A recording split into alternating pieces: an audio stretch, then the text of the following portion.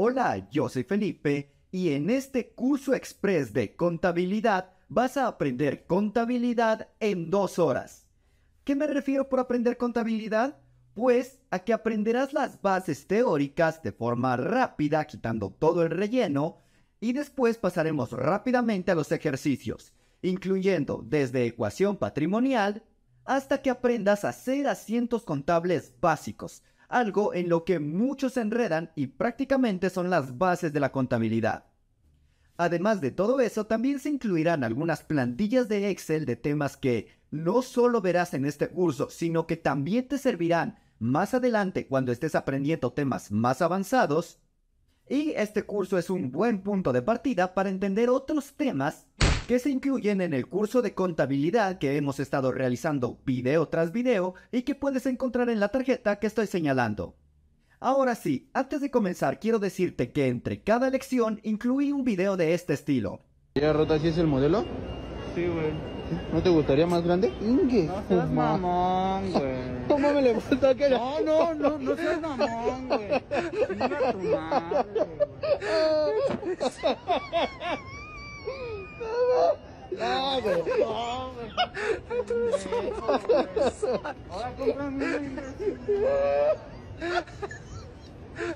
Se ve mejor así, ¿verdad, chicas? Eso no fue al azar. Es porque estuve investigando, indagando y encontré que el ver videos de ese estilo o el reírte y relajarte un poco mientras estás aprendiendo algún tema ayuda mucho a que lo interiorices mejor, a que entiendas las cosas más fácilmente y que puedas aprender mucho más rápido.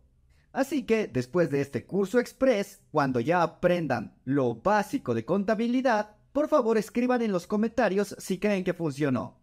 Y ahora sí, sin más que agregar, comencemos.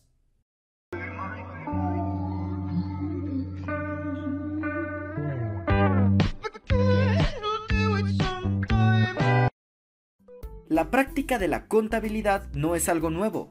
Viene implementándose desde hace miles de años cuando las civilizaciones necesitaban mantener un adecuado control de las cosechas, armas y demás recursos comunes. Después de eso, también empezó a ser de vital importancia para los comerciantes cuando estos comenzaron a vender a crédito y necesitaban mantener un registro de cuánto les debía cada uno de sus clientes pero a quien en realidad se considera el padre de la contabilidad es a el fray Luca Paciolo, quien fue uno de los pioneros en emplear el concepto de la partida doble, práctica que se aplica incluso hoy en día a partir de ese momento, la contabilidad empezó a implementarse más y más y a tener principios que son usados en todo el mundo, como por ejemplo la partida doble que ya mencioné, la estructura de los estados financieros, entre otros. Pero con el pasar de los años surgieron pequeñas diferencias que se aplican según el país en donde practiques la contabilidad, como por ejemplo los códigos de las cuentas, las tasas de impuestos, etc. La mayor parte de este curso te servirá sin importar el país en donde te encuentres, pero presta atención a las pequeñas cosas que cambian de país en país. Pero bueno, a todo esto, ¿qué es la contabilidad? Aunque existen varias definiciones, todas apuntan a lo mismo, y es que la contabilidad es un sistema o conjunto de técnicas y o prácticas que se emplean para registrar los hechos económicos de una empresa. Las prácticas deben ser generalmente aceptadas para que así la información que nos brinde la contabilidad sea de confianza. Se entiende la contabilidad como un sistema porque tiene elementos de entrada, los somete a un proceso y genera elementos de salida. Los elementos de entrada son los documentos contables, que son documentos que evidencian que un hecho económico ocurrió. Por ejemplo, si compras algo, el comprar es un hecho económico. Y la evidencia de esa compra es la factura que te dan. Esa factura es un documento contable. Existen muchos documentos contables, pero como podemos avanzar sin conocerlos a fondo, te sugiero que si quieres conocer más del tema, me digas si debo realizar un pequeño curso en video de ese tema. En fin, prosiguiendo. Los sistemas toman los elementos de entrada y los someten a procesos. En el caso de la contabilidad, los procesos son las prácticas contables, como las cuentas, los códigos, el débito, el crédito, etc. Y finalmente se generan los elementos de salida, que en este caso serían los estados financieros y registros contables finales. Esos productos finales son los que la empresa usa para desarrollar planes, pagar impuestos, monitorear la situación financiera de la empresa, etc. Existen diferentes tipos de contabilidad. En esta tarjeta te dejo un video en el que las explico. Pero en este curso en video nos centraremos en la contabilidad comercial, porque si la aprendes bien no tendrás problemas en aprender los registros contables de las otras contabilidades, Aún así, ya he realizado varios registros contables aplicando cuentas de las otras contabilidades, como por ejemplo la contabilidad de costos. Puedes revisarlos en mi canal después de ver este curso en video porque es ahí en donde entenderás completamente la temática. O si después deseas que realice un curso en video de alguna de las otras ramas de la contabilidad, puedes solicitarlo en la caja de los comentarios. Solo quiero mencionar que la contabilidad es muy importante porque nos brinda un sistema uniforme de entender la información contable de una empresa. Es decir, si tienes conocimientos contables, podrás entender los registros contables de cualquier empresa de tu país. Podrás hacer registros contables para cualquier empresa y podrás entender los estados financieros de cualquier organización. Eso genera orden, pues si cada empresa manejara la contabilidad como les diera la gana, sería un caos.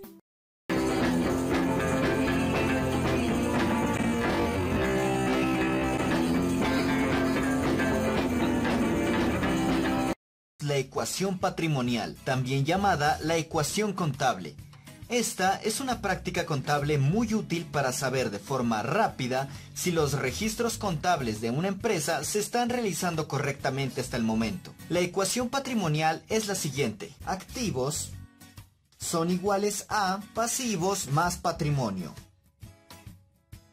o patrimonio neto dependiendo de la bibliografía que estés revisando. Es una igualdad porque la contabilidad se centra en eso y lo hace porque ayuda a justificar el por qué la empresa tiene lo que tiene. Antes de entrar a explicar estos tres conceptos, quiero decirte que si has leído a Robert Kiyosaki o cualquier otro autor de ese estilo, olvides lo que hayas aprendido ahí porque en contabilidad eso solo te confundirá. En contabilidad los activos son todo lo que la empresa posee, es decir, las cosas de su propiedad. Como por ejemplo el dinero, los vehículos, los edificios, las máquinas, los títulos valores, las deudas a favor de la empresa, etcétera, etcétera. Los pasivos son todas las deudas que la empresa debe pagar, es decir, deudas en contra de la empresa como por ejemplo créditos bancarios, salarios que no haya pagado, deudas con proveedores, etcétera, etcétera. Y finalmente, el patrimonio o patrimonio neto es todo lo que aportan los socios o propietarios de la empresa para que ésta pueda constituirse. Estos aportes pueden ser dinero o elementos de la misma empresa. Y así se cumple la igualdad, porque todo lo que la empresa tiene, que son los activos, está justificado o financiado con deuda o patrimonio. Por ejemplo, si una empresa compra un terreno en 100 millones de pesos, el valor del terreno, es decir, los 100 millones de pesos, serían su activo. Pero la empresa no puede decir, bueno, obtuve ese terreno y salió de la nada. No, tiene que justificar cómo pagó por ese terreno. Tiene que decir de dónde sacó el dinero para comprarlo. En este ejemplo, imaginemos que solicitó un crédito o un préstamo al banco y le dieron 50 millones de pesos. Faltarían 50 millones para decir cómo compró el terreno. Pero bueno, también podemos decir que los socios o dueños de esa empresa aportaron los otros 50 millones de pesos de su dinero, de su bolsillo. Luego entonces que se cumple la igualdad. Lo que tiene, 100 millones de pesos, se financió con una deuda y con los aportes que realizaron los socios. También puede presentarse el caso de que una empresa financie completamente sus activos con patrimonio o con pasivos. Es decir, que aquí los 100 millones de pesos hubieran sido patrimonio o hubieran sido pasivos. Aunque eso no es muy común. Pero aquí lo importante, lo realmente importante, es que siempre se brinde una igualdad de los activos con los pasivos más el patrimonio. En fin, esto es la ecuación patrimonial básica. Pero en la contabilidad también se aplican otras cuentas, por lo que se diseñó una variante de esa que las involucra a todas, y es la siguiente. Los activos más los gastos más los costos serán iguales a los pasivos más el patrimonio más los ingresos. Es un poco larga, pero abarca todas las cuentas que se emplean en contabilidad. Los activos ya sabemos qué es lo que tiene. Los costos y los gastos son las salidas de dinero por algún concepto. Más adelante en el curso explicaré la diferencia entre costos y gastos. Porque aunque ambos son salidas de dinero, no se refieren a lo mismo. Y los ingresos son la razón por la que recibo dinero. Los ingresos y los activos están en lados opuestos porque así se mantiene la igualdad. Un ejemplo de esto sería que si realizo una venta y por ese concepto me dan 100 mil pesos, es decir, 100 mil por la venta que estoy realizando, como es dinero que hace crecer a mi empresa, hace crecer su activo, mi activo aumentará en 100 mil pesos. Si los ingresos y los activos estuvieran en el mismo lado, habría 200 mil aquí y cero aquí. No se cumpliría la igualdad.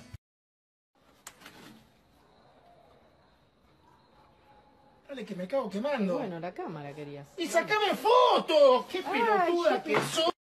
Hola, yo soy Felipe y en este video resolveremos una inquietud que muchas personas han presentado en los videos en los que realizamos registros contables. Y es, ¿de dónde carajo salen los códigos de las cuentas? Bueno, a diferencia de lo que muchos creen, los códigos no me los invento. Estos códigos deben salir de un plan de cuentas generalmente aceptado, un plan de cuentas es un documento en el que se enlista las cuentas, los códigos que acompañan a cada cuenta y la descripción y dinámica de cada cuenta.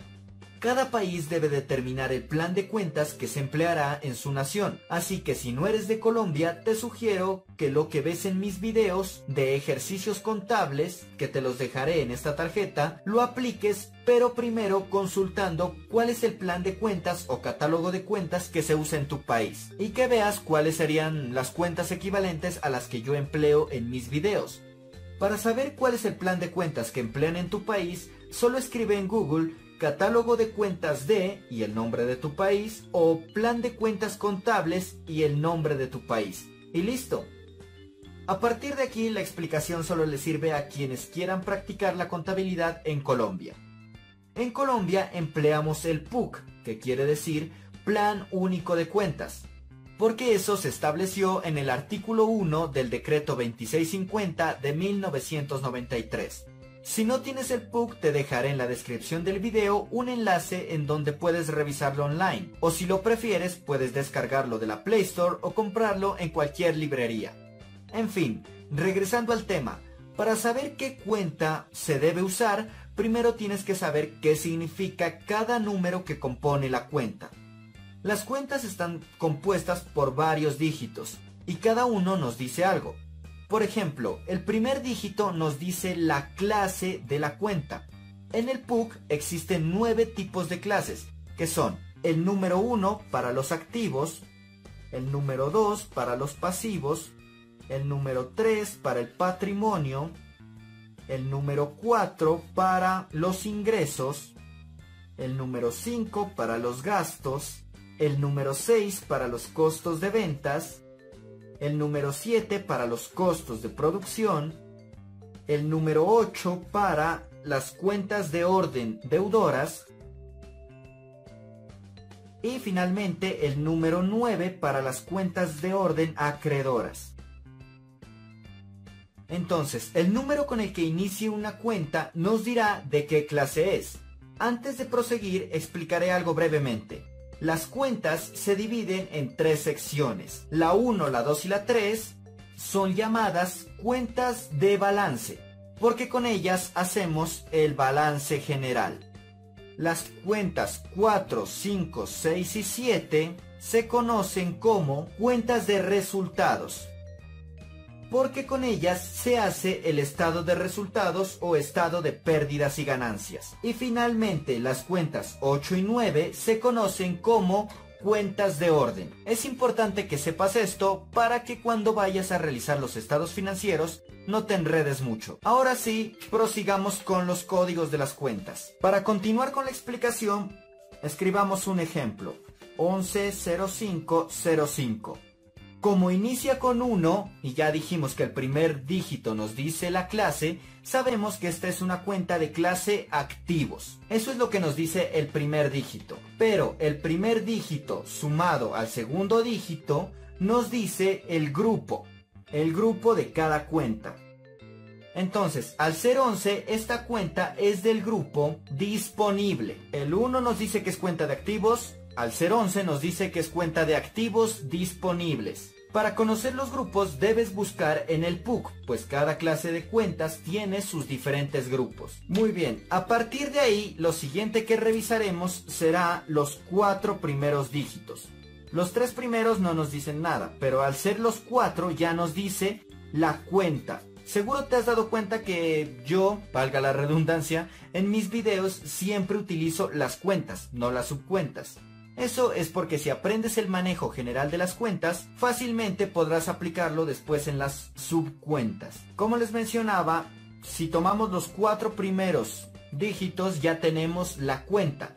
En este caso, al ser 1105, la cuenta se conoce como caja. Entonces, primer dígito nos dice la clase, segundo dígito el grupo y los cuatro primeros nos dicen el nombre de la cuenta. Esta cuenta en específico sabemos que es clase activos, grupo activos disponibles y el nombre de la cuenta caja. Ya con los seis dígitos sabremos algo más específico, que es la subcuenta. Que es básicamente la cuenta, pero especificándonos algo. En este caso, al ser 110505, sabemos que es caja general. También hay quienes agregan 7 o más dígitos, pero a partir del séptimo ya son auxiliares, dígitos auxiliares, y solo sirven para el manejo interno de la empresa, es decir, por norma no nos dicen nada. Por ejemplo, si mi empresa tiene dos cuentas de ahorro en dos bancos de mi país, la subcuenta sería 111005, que es bancos en moneda nacional. El 1 ya nos dice que es clase activos, el 11 nos dice que es activo disponible, 1110 es cuenta bancos y 111005 nos dice que es en moneda nacional. Pero, como les mencioné, tengo ese dinero en dos bancos diferentes. Entonces, lo que hacen muchas personas con estas cuentas auxiliares es 111005, que es hasta donde llega la norma, pero le agregan un 01 a la de un banco y 11 10 05 02 a la de su segundo banco, para así no confundir cuál es el dinero que está en un banco y cuál es el dinero que está en otro banco. Bueno, aquí hagamos un pequeño paréntesis para enseñarles cómo buscamos las clases, los grupos, las subcuentas y las cuentas en el PUC. En primer lugar entramos a la página del PUC, pueden escribir en Google PUC y ya les aparecerá en la primera opción pucplanunicodecuentas.com.com entramos y aquí en la barra de búsqueda podemos escribir ya sea los códigos o las cuentas. Entremos con la primera clase, la número 1, y le damos buscar. Al hacerlo ya nos aparece que la clase es 1 activos, lo que habíamos visto hace un momento, y vemos todos los grupos que se encuentran de esta clase.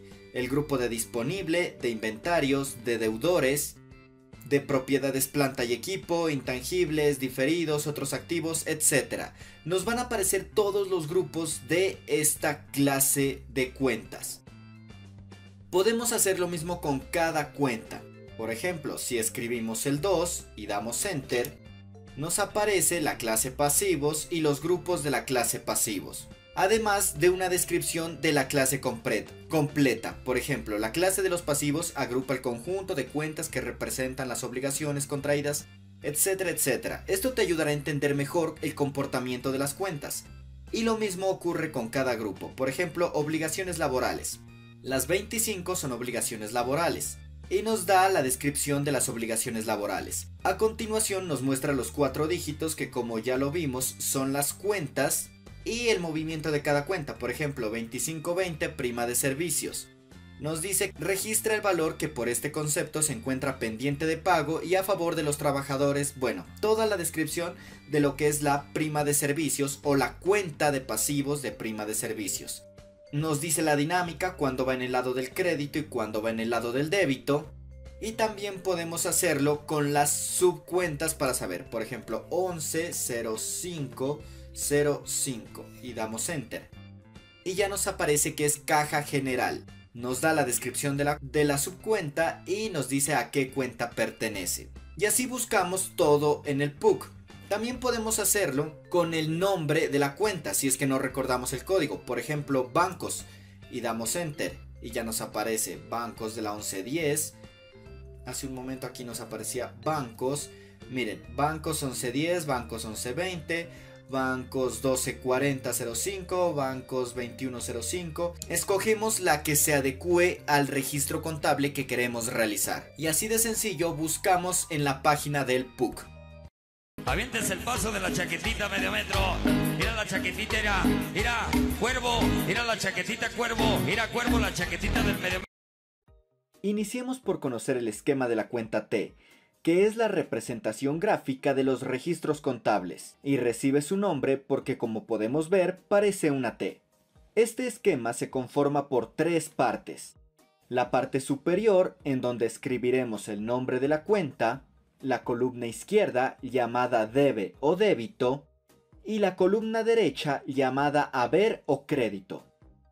Aquí es importante aclarar que debe y haber o débito y crédito simplemente se refiere a los lados de la cuenta. No significa que porque se llama debe es lo que tiene la empresa o algo por el estilo. Solo son los lados de la cuenta.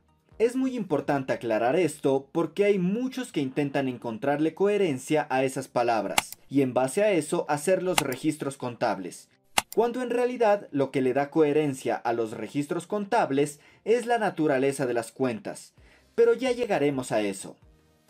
Continuando con el esquema de la cuenta T, cuando hablamos de debitar una cuenta nos referimos a registrar un valor en el lado izquierdo de la cuenta y cuando hablamos de acreditar una cuenta, nos referimos a registrar un valor en el lado derecho. Veamos un pequeño ejemplo para entender mejor esto. Imaginemos que abrimos la cuenta del dinero en efectivo, llamada caja. Escribimos su nombre en la parte superior. Ahora imaginemos que esta cuenta se debitó por 12 mil pesos. Eso quiere decir que en el lado izquierdo o del debe vamos a escribir 12 mil. Después, imaginemos que nos dicen que esta cuenta se acreditó por 8 mil pesos. Eso significa que vamos al lado derecho o del haber y escribimos 8 mil. Finalmente, el último concepto que nos interesa saber sobre las cuentas es el saldo. El saldo es la diferencia entre los valores registrados en la columna del debe y los registrados en la columna del haber. Mirando el ejemplo que veníamos realizando, observamos que tenemos 12 mil pesos en el lado del debe y 8 mil pesos en el lado del haber. Para hallar el saldo de una cuenta, debemos tomar al mayor y restarle el menor. En este caso, a 12 mil le restamos 8 mil. Eso nos da como resultado 4 mil pesos. Para marcar que es el saldo de una cuenta, trazamos una línea debajo de los registros que se hayan realizado en esa cuenta y en el lado que haya estado el mayor, que en este caso es el lado del debe, escribimos los 4000. Y podemos decir que esta cuenta tiene un saldo débito de 4000 pesos. Realizo esta pequeña interrupción para recordarte que en el canal también tenemos otros cursos como el de análisis financiero, matemáticas financieras, escuelas de la administración y mucho, mucho más contenido que seguro te va a ayudar. Así que no te vayas sin suscribirte, revisar el otro contenido y escribir en los comentarios qué otros temas te gustaría que aborde en el canal. Ahora sí, prosigamos. Algo importante por mencionar es que existen seis clases principales de cuentas, que son las cuentas de activo, las de pasivo, las de patrimonio, las de ingresos, las de gastos y las de costos. En un momento ya les diré a qué se refieren cada una de estas y el manejo que se les da. Pero bueno, ya habiendo repasado todo lo básico, podemos pasar a explicar la naturaleza de las cuentas. Aquí mucha atención y si quieres puedes ir tomando pantallazos de los gráficos que se utilizan para recordar el manejo de las cuentas porque si entiendes esto podrás hacer y entender cualquier registro contable. La naturaleza de las cuentas se refiere al modelo ya establecido para registrar las operaciones dependiendo de la cuenta de la que estemos hablando. Es decir, dependiendo de la cuenta, su valor aumentará por un lado y disminuirá por el otro. No todas las cuentas aumentan su valor por el mismo lado, y por eso es tan importante conocer la naturaleza de cada cuenta para poder hacer los registros contables de forma correcta. En realidad, esto es mucho más fácil de lo que suena, así que vamos con la naturaleza de cada cuenta para que se entienda mejor. La primera clase de cuenta son las cuentas de activo. Los activos son todas las cosas que la empresa posee, es decir, bienes y derechos de su propiedad. El manejo de las cuentas de activo es que aumentan por el debe y disminuyen por el haber. Eso quiere decir que cuando la empresa adquiere activos o tiene activos, registramos esos valores en el lado del debe y si la empresa pierde activos, los registramos en el lado del haber. Esta clase de cuentas es de naturaleza deudora o de saldo débito. Es decir, que cuando calculamos el saldo de las cuentas de activo, siempre va a quedar en el lado del debe. La segunda clase de cuentas son las de pasivos, también llamadas pasivos externos. Esto se refiere a todas las deudas que la empresa debe pagar, es decir, compromisos que tarde o temprano tendrá que pagar. Estas cuentas aumentan por el haber y disminuyen por el debe. Eso quiere decir que cuando se adquieren deudas, se registran los valores en el lado del haber, y cuando esas deudas se pagan, se registran en el lado del debe. Esta clase de cuentas son de naturaleza acreedora o de crédito. Es decir, que cuando calculamos el saldo de las cuentas de pasivo, siempre va a quedar en el lado del haber o del crédito. Aquí ya podemos sacar una conclusión que nos será muy útil cuando estemos realizando registros contables y corroborando si lo que hicimos está bien. La naturaleza de las cuentas siempre va a coincidir con el lado por el que aumentan. La tercera clase de cuentas son las de patrimonio también llamadas patrimonio neto o pasivo interno. Las cuentas de patrimonio se refieren a los recursos propios de la empresa, como por ejemplo las inversiones de los dueños o las utilidades que se reinvierten. Estas cuentas aumentan por el haber y disminuyen por el debe. Es decir, que cuando se realizan más aportes a la empresa se acredita y cuando algunos aportes de la empresa se van, se debita. Es por esa razón que esta cuenta es de naturaleza acreedora o de naturaleza de saldo crédito. La siguiente clase de cuentas son las de ingresos. Estas se refieren a los conceptos por los cuales la empresa puede recibir pagos. Su manejo es aumentar por el haber y disminuir por el debe. Es decir, que cuando se reciben ingresos, estas cuentas se acreditan y que cuando por alguna razón se anula el motivo de recibir un ingreso, se debitan. Eso hace que esta clase de cuentas sean de naturaleza acreedora o de naturaleza de saldo crédito. Por cierto, antes de continuar con las cuentas que faltan, quiero aclararte que cada clase de cuenta tiene un manejo diferente para que de esa forma se cumpla el principio de partida doble, el cual dice que para que los asientos contables estén bien, los valores de los débitos tienen que ser iguales a los de los créditos. Continuando con la naturaleza de las cuentas, la siguiente clase de cuentas son las de gastos. Estas se utilizan para todos los conceptos que debe pagar la empresa, pero que no están relacionados con su actividad principal. El manejo de estas cuentas es aumentar por el debe y disminuir por el haber. Es decir, que cuando hay gastos que se deben pagar, se debita, y si por alguna razón ya no tenemos que pagar esos gastos, se acredita. Esta clase de cuentas son de naturaleza deudora o de naturaleza de saldo débito. Finalmente, la última clase de cuentas son las cuentas de costos. Estas se refieren a todos los conceptos por los que debe pagar la empresa y que sí están relacionados con su actividad principal.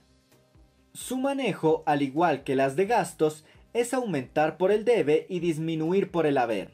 Aumentan cuando se generan los costos y disminuyen cuando se anula el concepto de que se genere un costo o de que se incurra en un costo. Eso hace que su naturaleza sea deudora o de naturaleza de saldo debe. Si al calcular el saldo de una cuenta, este no coincide con la naturaleza, eso significa que hay algún error en los registros contables. Puede que en ejercicios académicos los saldos de las cuentas no coincidan con su naturaleza, pero en la vida real el saldo de la cuenta y la naturaleza siempre coincidirán. Ahora ya puedes revisar ejercicios de asientos contables o registros contables. A lo que yo vine fue a esto. En esta sección aprenderemos acerca del principio de partida doble, una práctica muy antigua pero bastante empleada incluso en la actualidad. El principio de partida doble nos dice que si una cuenta se debita, otra u otras se acreditan por el mismo valor y viceversa, siempre manteniéndose la igualdad. Es decir, que no existirá débito sin su crédito ni crédito sin su débito. Un ejemplo de esto sería que tenemos dos cuentas, y una de ellas se debita con 100 dólares. Eso implica que la otra debería acreditarse por 100 dólares. Y así se mantiene la igualdad. En un mismo registro deben haber por lo menos dos movimientos. Cuando hay dos movimientos, a eso se le llama registro simple o asiento simple, porque solo involucra dos cuentas. También puede presentarse otro ejemplo en el cual una cuenta se debite por un valor, digamos en este ejemplo 100 dólares, pero que en lugar de involucrarse otra sola cuenta, se involucren dos más. Una de ellas se acreditará por 50 dólares y la otra también. Se cumple la igualdad, esto en un solo registro. Imaginemos que compré un activo en 100 dólares, una cuenta fue de una deuda, 50 dólares, y la otra salió de mi dinero propio, otros 50 dólares. Si sumamos estos dos, hay 100 dólares en el lado del crédito y 100 dólares en el lado del débito. Bueno, recordemos que el lado izquierdo es débito y el lado derecho es haber o crédito. Cuando se involucran dos o más cuentas, a eso se le llama un asiento compuesto o un registro compuesto, porque se involucran más de dos cuentas, pero mantienen el balance, es decir, lo mismo que se debitó se acreditó. Nunca un registro contable se, se hace con una sola cuenta. Es decir, yo no puedo escribir 100 dólares en el lado del débito y dejarlo ahí. O no puedo tomar otra cuenta y escribirle 80 dólares solo en el lado del crédito y dejarla ahí. Los registros contables siempre deben involucrar por lo menos dos cuentas. Y si no te da igual al sumar todo lo del lado débito y todo lo del lado crédito, estás mal. No se preocupen, realizaremos algunos ejemplos para entender esto de una forma más clara. Pero antes de eso, quiero mencionarte que también ocurre lo contrario. Por ejemplo, si inicio con una cuenta y esta la acredito por 100 dólares, tendré que abrir otra cuenta y debitarla por 100 dólares. O también otro registro podría ser que acredité 80 dólares en una cuenta y en otra cuenta debité 30 dólares y en otra debité 50. 80 dólares en el haber y 80 dólares en el debe. Bastante fácil, ¿cierto? Bueno, ahora sí vamos con los ejemplos. El primer problema nos dice, una empresa compra de contado con cheque un teléfono para uso de la empresa por 300 mil pesos. Muy bien, ya tenemos todos los datos que necesitamos para el ejercicio. Me menciona que pagué con cheque. Eso implica abrir una cuenta 1110 llamada bancos. Muy bien, sabemos que el lado izquierdo es del debe y el lado derecho el del haber. Es una cuenta de activos porque su código inicia con 1. Pero volviendo aquí, las cuentas de activos, y esta es una de activos porque inicia con el código 1, disminuyen por el lado del haber. En este caso, el dinero en mi banco disminuye porque yo estoy sacando dinero para pagar algo. En este caso, 300 mil pesos. Pero no desperdicié ese dinero porque compré algo. Compré un teléfono. Los teléfonos son equipos de cómputo y comunicaciones. Por lo tanto van en la cuenta 1528 equipos de cómputo y comunicaciones.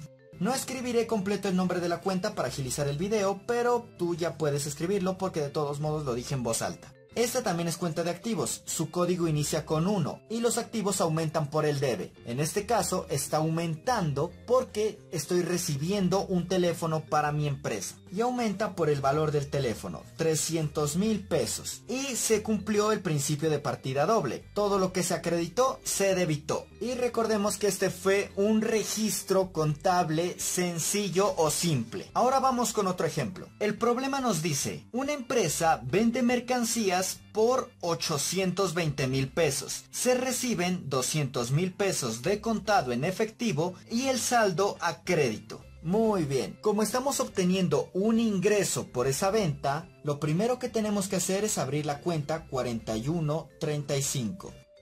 El 4 indica que es una cuenta de ingresos y su nombre es comercio al por mayor y al por menor.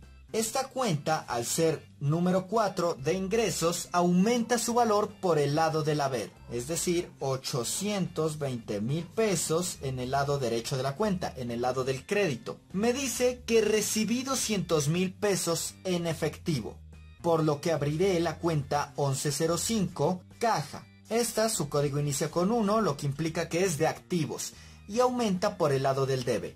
En esta ocasión aumenta porque soy yo o es mi empresa quien recibe el dinero. Está aumentando. Estoy recibiendo dinero en efectivo. Pero no se ha cumplido el principio de partida doble. Y es porque me menciona que el saldo está a crédito. A crédito implica que le fiaron básicamente no implica que necesariamente lo vamos a mandar al lado del haber. O mejor dicho, como mi cliente tiene una deuda conmigo, una deuda a favor de la empresa, la cuenta que abro es la 1305 llamada deudores clientes. Esta cuenta es de activos porque es una deuda a favor de la empresa y está aumentando porque la deuda que ellos tienen conmigo se está creando. Y como es cuenta de activos y aumenta, va al lado del debe. ¿Qué valor? Fácil tiene que darnos igual, tanto en el lado del haber como en el lado del debe. ¿Cuánto nos falta para que nos dé igual? Pues 620 mil pesos. Así, al sumar los dos valores del lado del débito, que son 820 mil, 200 más 620, nos va a dar lo mismo que hay en el lado del crédito, 820 mil pesos. Sumas iguales en la columna del debe y del haber. Se cumplió el principio de partida doble.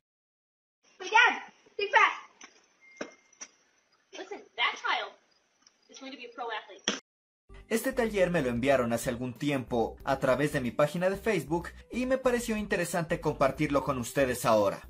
Ahora sí, sin más que agregar, comencemos. El problema nos dice, primero, se constituye una sociedad por acciones con un aporte inicial de 100 millones de pesos, el cual es pagado totalmente en efectivo por parte de los accionistas. Genial, ya tenemos todo para iniciar. En el esquema de la cuenta T, en la parte superior, escribiremos tanto el código como el nombre de la cuenta. Y bueno, continuando con el esquema de la cuenta T, el lado izquierdo es para registrar los valores del debe o débito y el lado derecho para registrar los valores del haber o del crédito. Recuerda que para cada cuenta es diferente el lado por el que aumentan o disminuyen. Algunas aumentan por el debe y algunas aumentan por el haber. Algunas disminuyen por el haber, algunas disminuyen por el debe. Bueno, el enunciado nos dijo que se realizaron aportes por 100 millones de pesos para una sociedad. Eso hace que abramos nuestra cuenta 3115 llamada aportes sociales. Voy a utilizar algunas abreviaturas que tal vez no sean correctas, pero es con el fin de agilizar el video. De todos modos, mencionaré los códigos y nombres de las cuentas en voz alta para que no se pierdan. Esta es la 3115 aportes sociales. Como su código inicia con 3, eso nos dice que es una cuenta de patrimonio. El manejo de las cuentas de patrimonio es aumentar por el haber y disminuir por el debe. Aumentan cuando se realizan aportes en la empresa, cuando el patrimonio neto de la empresa incrementa y disminuyen cuando los aportes se van de la empresa, ya sea porque se fue algún socio o se sacrificaron por algún concepto. En este caso, ya que se está constituyendo la empresa y se están consignando dichos aportes en la misma, podemos decir que está aumentando. Por ende, registraré los 100 millones de pesos en el lado del haber. 100 millones de pesos en la cuenta 3115 aportes sociales.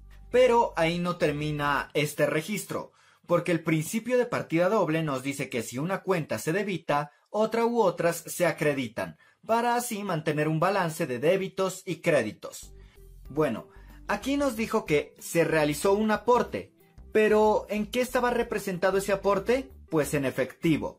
Y cuando hablamos de efectivo, abrimos la cuenta 1105 caja, que bajo normas internacionales su nombre es efectivo y equivalentes al efectivo, si mal no recuerdo. Pero bueno, ustedes podrán después buscar códigos y nombres de cuentas dependiendo de su país. El código de esta cuenta inicia con el número 1. Eso nos dice que es una cuenta de activos. Y el manejo de los activos es aumentar por el debe, disminuir por el haber. Los activos es lo que la empresa posee, así que aumentan cuando tiene posesión de algunas cosas, en este caso dinero en efectivo, y disminuyen cuando los activos se van de la empresa. En este caso, en la cuenta del efectivo, disminuiría si se estuviera sacando dinero en efectivo de la empresa ya sea para pagar algo o por alguna otra razón. Pero bueno, la empresa se constituyó, los socios realizaron este aporte. Como lo realizaron en efectivo, está llegando dinero en efectivo a la empresa, está aumentando mi caja. Por esa razón, le debitaré 100 millones de pesos. Aumenta por 100 millones de pesos. Y así de sencillo termina nuestro primer punto y nuestro primer registro contable. Vamos con el segundo, el cual nos dice, se abre cuenta corriente en el Banco da Vivienda y se consigna el aporte de los accionistas. Se está abriendo una cuenta bancaria, una cuenta de la cual la empresa es dueña. Eso implica que abriremos la cuenta 1110 llamada bancos. En esta cuenta consignamos todo el dinero que la empresa tiene en cuentas bancarias, en este caso en la cuenta corriente. Su código inicia con el número 1, lo que nos dice que es una cuenta de activos. Los activos aumentan por el debe, disminuyen por el haber. En el caso de las cuentas bancarias, aumentan cuando ingresa dinero en la cuenta bancaria y disminuye cuando sacamos el dinero de la cuenta bancaria. En este caso está aumentando porque nos dice que el aporte lo transferimos a una cuenta bancaria, así que le debitaré 100 millones de pesos. Pero, ¿de dónde salieron estos 100 millones de pesos? No puedo sacarlos de la nada, de algún lado tuve que haber obtenido ese dinero. Y del único lugar en donde teníamos dinero era el aporte que realizaron los socios que se encontraba consignado en efectivo. Así que, ya que lo enviamos al banco en su totalidad, la cuenta de caja perderá 100 millones de pesos. Los escribo en el lado del haber porque su código inicia con 1, es cuenta de activos y los activos disminuyen por el haber. Saqué el dinero de la caja, pero llegó a mi cuenta bancaria. Y así termina el segundo punto. Vamos con el tercero, el cual nos dice, se adquieren mercancías para la venta a un proveedor local por valor de 30 millones de pesos, totalmente a crédito. Dado a que estamos comprando mercancías, aquí hay dos formas de hacer el registro. Con el sistema de inventarios permanente y con el sistema de inventarios periódico. Yo que ya he realizado este taller sé que nos conviene utilizar el sistema de inventarios permanente porque nos da una información adicional en otros puntos más adelante. Pero si ustedes no tienen inconvenientes en usar el uno o el otro, tienen toda la libertad. Otra cosa, si no saben cómo manejar esos sistemas de inventarios y ni siquiera los conocen, les sugiero esta otra lección del curso de contabilidad que realizamos. Ahí lo expliqué en manera teórica y después proseguimos a realizar algunos ejercicios, para que el tema quedara sumamente claro. Pero repito, aquí nos centraremos en el sistema de inventarios permanente. Bueno, aquí me dijo que adquirimos mercancía por un valor de 30 millones de pesos ya que estamos adquiriendo mercancías y trabajando con el sistema de inventarios permanente, abriré la cuenta 1435 que se llama Mercancías no fabricadas por la empresa. 1435 Mercancías no fabricadas por la empresa. Su código inicia con el número 1, es cuenta de activos, y ya que es 14, su grupo es inventarios. Pero bueno, el grupo no nos interesa por el momento. Nos interesa saber que es cuenta de activos y aumenta por el debe, disminuye por el haber. Aumenta cuando adquiero mercancía para vender, cuando tengo mercancía en mi inventario. Y disminuye cuando vendo esa mercancía porque sale de mi empresa y se va con el cliente. Ya que estoy comprando mercancía, la estoy, la estoy adquiriendo y manteniendo en mi inventario. Así que registraré su valor en el lado del debe. 30 millones de pesos. Ahora nos vamos al medio de pago, que el enunciado me dijo que fue a crédito. A crédito significa fiar, es decir, que me entregaron la mercancía pero que yo aún no la he pagado. Aún así tengo una deuda con mi proveedor, tarde o temprano tendré que pagársela. Pero hasta que yo se la pague, esa deuda es una deuda vigente, un compromiso que mi empresa tiene con otra empresa o con otra persona. Ya que es una deuda con un proveedor, abriré la cuenta 2205 llamada Proveedores Nacionales. 2205 Proveedores Nacionales. Su código inicia con el número 2. Eso me dice que es una cuenta de pasivos. Los pasivos son todas las deudas que la empresa tiene que pagar y su manejo es que aumenta por el haber y disminuye por el debe. Aumenta cuando adquiero deuda, cuando le debo dinero a alguien y disminuye cuando pago esas deudas o se anula el concepto de que tenga que pagarlas. En este caso le debo ese dinero a mi proveedor, por tal razón está aumentando y por esa misma razón lo registraré en el lado del haber. 30 millones de pesos acreditados en la cuenta 2205 Proveedores Nacionales. Y así de sencillo termina ese punto. Vamos con el cuarto, el cual nos dice, compramos de contado mercancía para la venta por valor de 1.500.000 pesos. Se paga mediante cheque del banco Da Vivienda. Estoy comprando nueva mercancía por 1.500.000 pesos. Así que voy a la cuenta 1435 y le debitaré 1.500.000 pesos. Porque recordemos, cuando en las cuentas T necesito realizar un registro en una cuenta que ya estaba abierta, no hace falta abrirla nuevamente, simplemente registramos el valor, ya sea en el debe o en el haber según corresponde en el registro. En este caso le debité 1.500.000 pesos en la 1435 porque estoy comprando mercancía nuevamente. En este caso me dijo que sí la pagué, que la pagué de contado, es decir, que pagué todo el valor inmediatamente. ¿Con qué? Con cheque. Haberlo hecho con cheque significa que saqué dinero de mi cuenta bancaria para pagar por esa mercancía. La cuenta bancaria es una cuenta de activos, 1110, y ya que estoy sacando dinero de la cuenta bancaria para pagar por esa mercancía, implica que está disminuyendo, por lo tanto registraré su valor en el lado del haber, 1.500.000 pesos. Y así termina ese cuarto punto. Vamos con el quinto, que dice, se adquiere mercancía a un proveedor por valor de 20 millones de pesos a crédito. Bueno, con este punto tuve algunas dudas, porque no dice que sea mercancía para la venta, así que no sabía si enviarla por la 1435. Porque las deudas que no son de mercancía se pueden enviar por otra cuenta, como por ejemplo la 2335, costos y gastos por pagar. Pero ya que no nos especifica qué clase de mercancía es, no sabríamos qué cuenta de activos abrir. Así que, aunque no nos lo diga, asumiremos que es mercancía para la venta. Y por esa razón se la debitaremos en la cuenta 1435 y ya que es a crédito, lo enviaremos como una deuda con los proveedores nacionales. Así que vamos a ello. Ya que adquirí esa mercancía, le debitaré 20 millones de pesos a la 1435, es lo que está llegando de mercancía a mi inventario, y ya que me dijo que era crédito, voy a la 2205 Proveedores Nacionales y le acredito 20 millones de pesos, porque es una deuda que mantengo vigente con estos proveedores. Ahora vamos al sexto, el cual nos dice, El Banco de Vivienda nos informa que tenemos crédito preaprobado por la suma de 80 millones de pesos, del cual solicitamos desembolso por la suma de 30 millones de pesos, y el saldo se utilizará cada vez que la cuenta corriente no posea saldo alguno.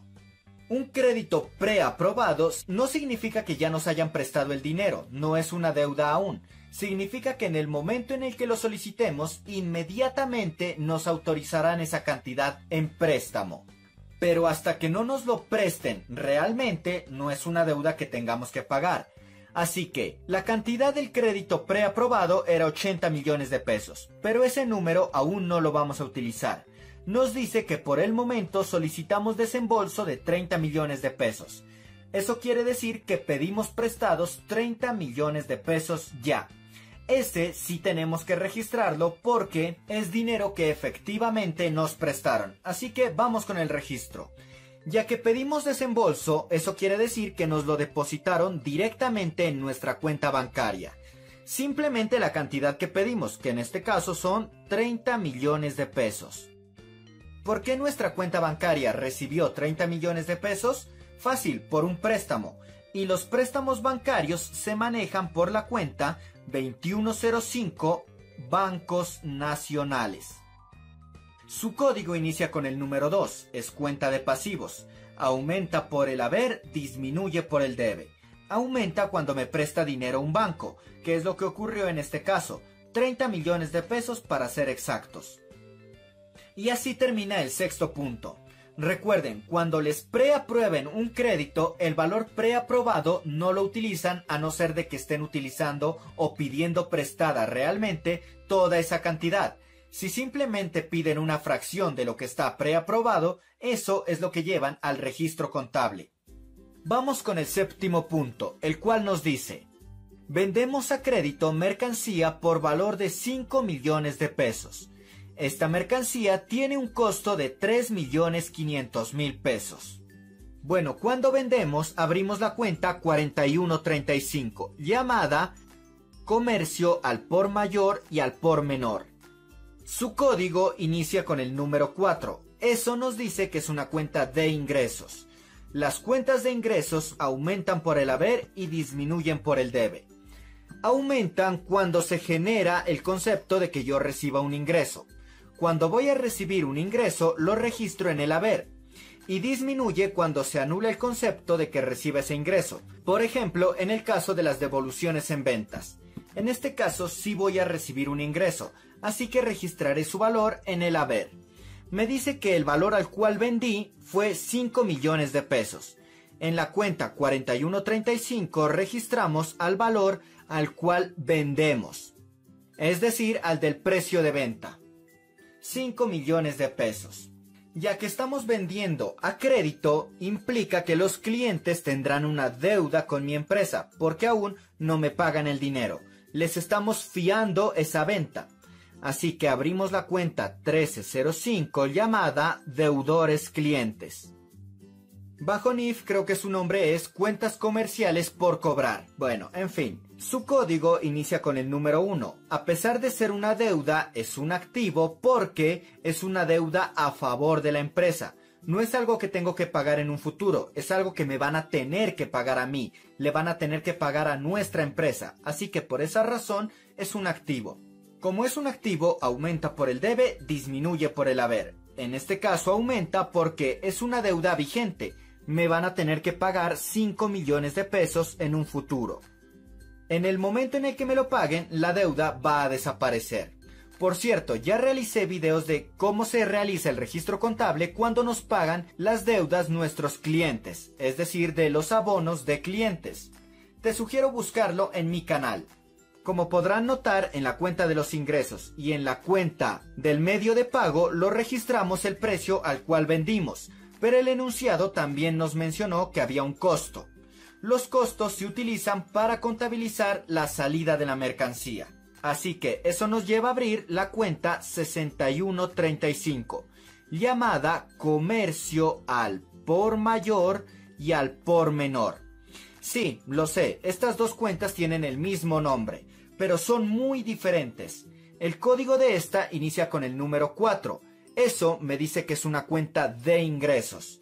Y el número de esta inicia con el número 6, lo que me dice que es una cuenta de costos. Las cuentas pueden compartir nombre, pero nunca van a compartir código. Si se refieren a dos conceptos diferentes, manejarán un código diferente. Esta cuenta es de costos y la abrimos porque estamos trabajando con el sistema de inventarios permanente. Las cuentas de costos aumentan por el debe, disminuyen por el haber. Aumentan cuando se genera el concepto de un costo, es decir, cuando se incurre en algún costo registramos su valor en el debe.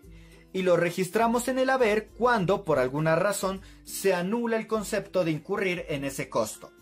En este caso, ya que trabajamos con el sistema de inventarios permanente, incurrimos en los costos al momento de vender y registramos su valor en el lado del debe. ¿Qué valor registramos? El costo de ventas, que es el valor al cual yo compré.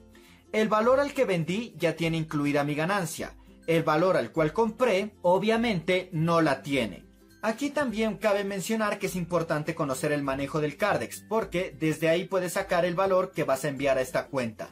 También he realizado videos explicando el Cardex, métodos para diligenciar el Cardex, etc. Así que te sugiero mucho ver esos videos para que vayas entendiendo toda la materia de contabilidad en conjunto.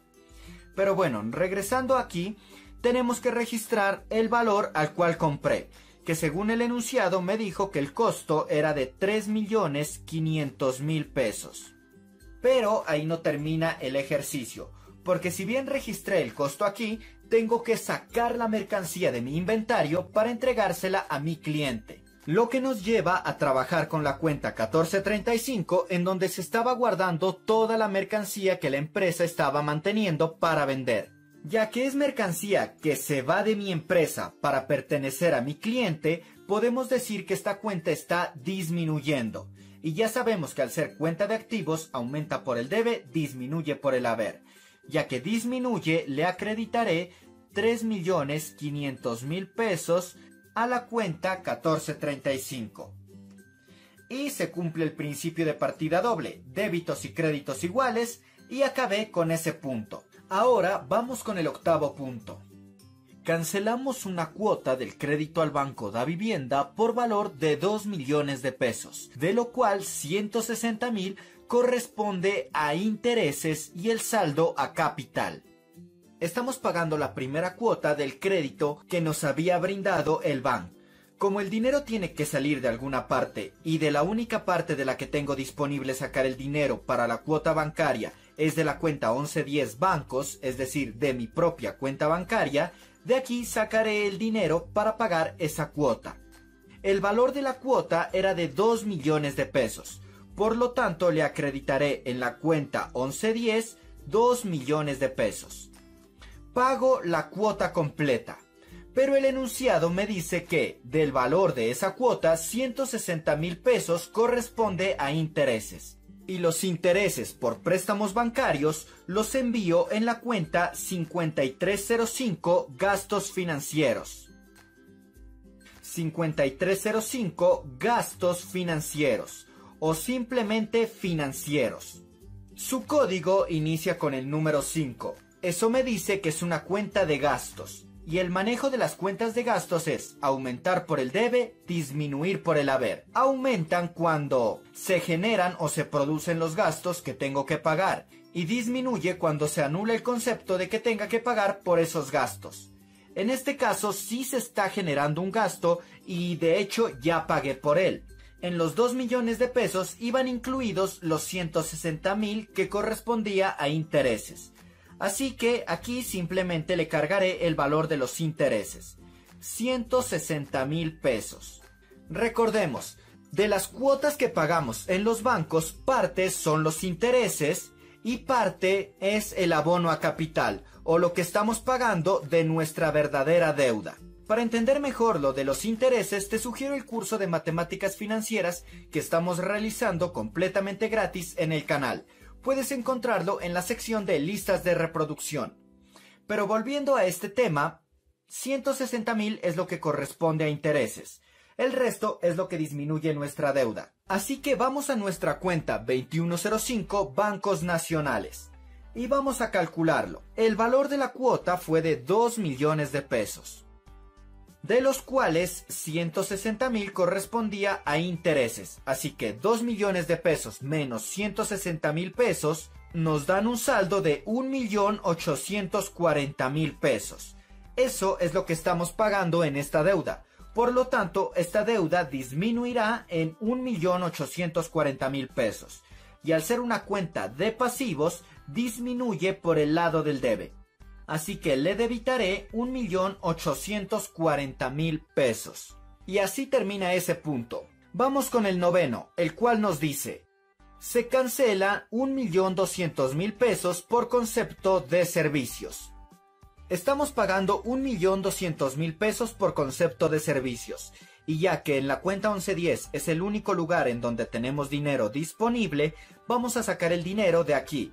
Le acreditaré 1.200.000 pesos que se van para pagar los servicios.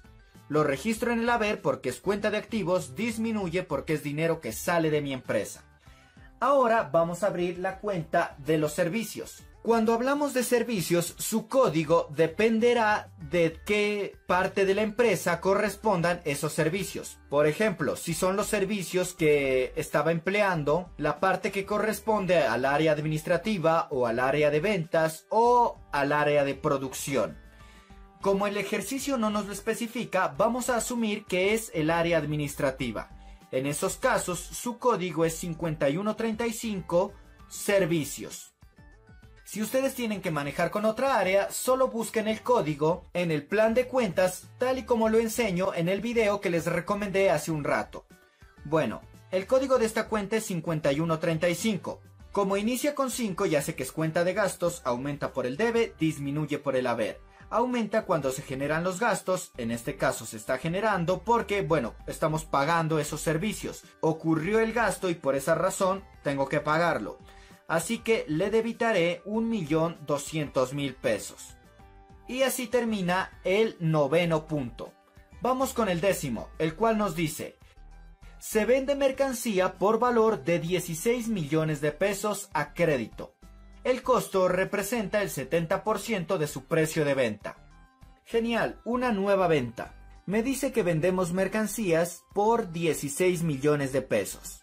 Así que en nuestro ingreso le acreditaremos 16 millones de pesos. Nueva venta se acredita por el valor al cual vendemos. Nos dice que es a crédito. Así que en nuestra cuenta 1305 deudores clientes le debitamos los 16 millones de pesos. Recuerden, esta es la del medio de pago y la registramos al mismo valor al que vendí.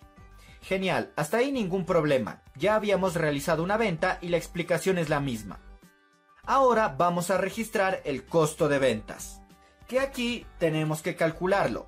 Es muy común que en ocasiones, en lugar de darte una cifra que equivale al costo de ventas, tú tengas que calcularlo como un porcentaje en base al precio al cual vendiste. En este caso, el precio al cual vendimos fue 16 millones de pesos. Multiplicados por 0,70 o 0,7 que es el 70% expresado como decimales. Damos igual y vemos que el costo de ventas era de 11 millones 200 mil pesos. Así que en nuestra cuenta 6135 le debitamos 11 millones 200 mil pesos. La explicación ya la hicimos. Cuenta de costos en sistema de inventarios permanente. Registramos el costo al momento de vender. Ahora vamos a sacar la mercancía de la empresa. Recuerden que la mercancía que sale es al precio al cual la compré que curiosamente coincide con el costo de ventas que acabamos de registrar y es 11 millones 200 mil pesos. En el lado del haber, porque esta cuenta inicia su código con el número 1 y es mercancía que abandona mi empresa para pertenecer a algún cliente. Y así termina el décimo punto. Vamos con el número 11, el cual nos dice, cancelamos honorarios al revisor fiscal por valor de 1.800.000 pesos con cheque de nuestra cuenta corriente del banco Da Vivienda. Genial, estoy pagándole al revisor fiscal 1.800.000 pesos.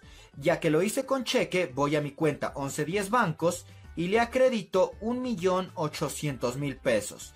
Los acredito porque es cuenta de activos y es dinero que sale de mi empresa para pagarle a alguien. ¿A quién estoy pagando? A mi revisor fiscal. ¿Por qué concepto le estoy pagando? Pues por sus honorarios. Eso hace que abra la cuenta 5110 llamada honorarios. Aquí una aclaración. Al igual que los servicios, el código puede cambiar si a la persona que se le está pagando los honorarios brindó apoyo ya sea al área administrativa, al área de ventas o al área de producción. Pero en este caso, ya que pues es un revisor fiscal, se asume que fue el área administrativa. Por esa razón, el código 5110 honorarios. Con un código que inicia con el número 5, ya sé que es una cuenta de gastos y que aumentará por el lado del debe y disminuirá por el lado del haber. En este caso aumenta porque se está generando el concepto de, de, que yo le pague al revisor fiscal por su trabajo. ¿Cuánto le estoy pagando por concepto de honorarios? 1.800.000 pesos. Debitados en la 5110. Y así termina el punto número 11. Vamos con el punto número 12, el cual nos dice, un cliente nos cancela la suma de 4.800.000 pesos para abonar a la factura del crédito concedido. Que un cliente realice un abono significa que está pagando, al menos de manera parcial, la deuda que tenía con nuestra empresa. En este caso dice que nos está pagando 4.800.000 pesos. Las deudas de nuestros clientes estaban consignadas en la cuenta 1305 deudores clientes. Esta, al ser cuenta de activos, aumentaba mientras más deudas los clientes tuvieran con nuestra empresa y disminuye cuando nos pagan. Ya que nos están pagando, le acreditaré el valor de lo que está pagando, 4.800.000 pesos. Ahora, no nos dice cómo nos está entregando ese dinero, solo nos dice que nos está pagando parte de lo que nos debía. Podemos asumir que fue o en efectivo o con transferencia bancaria. Ya que no hemos realizado muchos movimientos en la cuenta del efectivo, imaginemos que nos lo pagó en efectivo. Ya que fue en efectivo, vamos a la cuenta 1105 caja y le debitamos 4.800.000 pesos, que es lo que nos entregó el cliente. Y así termina el punto número 12. Si hubiéramos dicho que era en el banco o que fue con transferencia bancaria, solo teníamos que escribir este 4.800.000 pesos en la 1110. Pero bueno, asumimos que fue en efectivo. Ahora vamos con el punto número 13, el cual nos dice, cancelamos a un proveedor por concepto de abono a factura por valor de 24 millones de pesos en efectivo. Y aquí algo curioso que hay con este punto. Nos dice que estamos pagando parte de una deuda que teníamos con un proveedor. El problema es que nos dice que lo hacemos con efectivo. Y lo que estamos pagando son 24 millones de pesos. Si nos damos cuenta, en nuestra cuenta 1105 cajas solo tenemos 4 millones 800 mil pesos. Los 100 millones no se hacen cuenta porque estos se fueron al banco. Solo tenemos 4 millones 800 mil pesos. Ya que no tenemos suficiente dinero en nuestra cuenta de efectivo, no podríamos hacer ese pago. Es imposible. Sería un registro mal hecho. No sé si quien formuló este taller cometió ese error adrede como por poner algún inconveniente a sus estudiantes o si en serio no se dio cuenta de que no había dinero en la cuenta de efectivo. En la vida real también es muy oportuno darse cuenta de esos pequeños errores. Sacas el dinero de donde hay. Muchos saben decir, a mí me enseñaron que si no especifica se saca de caja. Pero, ¿qué pasa si no hay dinero en la caja? No, tienes que aplicar la lógica, pensar como si estuvieras en el mundo real. Y ya que no hay suficiente dinero en la cuenta de caja, no vamos a sacar el dinero de ahí para pagarle al proveedor. Lo vamos a sacar de bancos, que es de donde aún tenemos dinero. Así que vamos a ello. Sacamos 24 millones de pesos de nuestra cuenta de bancos. Por esa razón, en la 1110 acreditamos 24 millones de pesos. ¿Por qué saqué esos 24 millones de pesos? Para pagarle a un proveedor al cual le debía. Las cuentas de deudas con los proveedores están registradas en la 2205 Proveedores Nacionales. Así que en esta cuenta voy a debitar 24 millones de pesos. Recuerden, cuentas de pasivos aumentan por el haber, disminuyen por el debe. Aumentan cuando adquiero deuda, disminuyen cuando las pago. Y así termina este punto. Aunque nos haya dicho que era en efectivo, o sea, mover en esta cuenta, lo hicimos con bancos porque por lógica no podríamos sacarlo de efectivo. No hay 24 millones ahí, solo hay 4 millones 800 mil pesos. Y bueno, vamos con el 14 y último para terminar los registros. Pero no te vayas, mira el video hasta el final porque tengo una aclaración muy importante que hacerte. Voy a enseñarte cómo sacar saldos y cómo hacer el balance de comprobación. Así que espera hasta el último segundo de este video. Pero bueno, vamos con el 14 que es el último registro y nos dice Compramos vehículo para distribución de mercancías por valor de 60 millones de pesos. Entregamos una cuota inicial del 40% mediante cheque y el saldo se financió con un crédito bancario. Muy bien, estamos comprando un vehículo, que es un activo fijo. El código para este vehículo es 1540 flota y equipo de transporte. El enunciado nos menciona que este costó 60 millones de pesos, pero que lo pagamos de manera fraccionada, parte sacando dinero de nuestro banco y parte solicitando crédito o un préstamo al banco. ¿Eso afecta en algo el valor del vehículo? No. El valor del vehículo se mueve por el total de la transacción, que en este caso es 60 millones de pesos. El código de esta cuenta inicia con el número 1. Eso me dice que es cuenta de activos. Cuando adquiero vehículos, flota y equipo de transporte, registro el valor en el lado del debe y cuando estos se van de mi empresa, registro su valor en el lado del haber. En este caso, ya que lo estamos comprando, le debitaré 60 millones de pesos a la cuenta 1540. Ahora vámonos a los medios de pago y saquemos nuestra calculadora porque nos dijo que se pagó de manera fraccionada. Bueno, el valor total del vehículo era 60 millones de pesos, multiplicados por el 40% o 0,4, que es el 40% expresado como decimales damos igual y eso nos da 24 millones de pesos. 24 millones de pesos acreditados porque es dinero que sale de mi empresa para ir a pagar el vehículo que adquirí recientemente. Entonces, ya que es cuenta de activos, disminuye por el haber y por esa razón escribí estos 24 millones de pesos. Me falta un cero, ahí está. Pero eso solo cubre el 40% del valor del vehículo. El resto fue con un crédito bancario. Eso quiere decir que se vio involucrada mi cuenta 2105 Bancos Nacionales. Para calcular cuánto solicité en crédito bancario podemos hacerlo de dos formas. La primera es a los 60 millones de pesos restarle los 24 que acabamos de calcular y la segunda es hacerlo con porcentajes, que es lo que voy a hacer. Borro este 4 y dejo 60 millones de pesos por 0.6 o el 60% y me da como resultado 36 millones de pesos. Voy a mi cuenta 2105 Bancos Nacionales y al ser cuenta de pasivos aumenta por el haber, disminuye por el debe. Aumenta cuando se genera deudas que tiene que tengo que pagar o que la empresa tiene que pagar.